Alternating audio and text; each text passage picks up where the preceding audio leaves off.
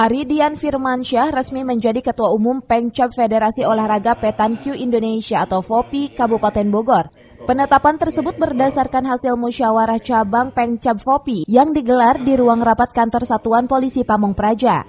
Usai terpilih, Ari berjanji akan membawa cabang olahraga pentankio menjadi lebih baik. Apalagi sebelumnya FOPI sudah berprestasi, artinya peningkatan prestasi harus lebih ditingkatkan lagi. Aridian Firmansyah menerangkan langkah yang akan dilakukannya sekarang adalah konsolidasi eksternal dan internal dalam rencana menyusun program kerja serta pembinaan untuk peningkatan prestasi emas cabang olahraga Petankio Kabupaten Bogor.